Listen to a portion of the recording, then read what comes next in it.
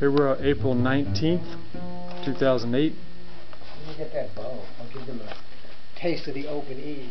I think it's that one on the floor, I believe. Oh.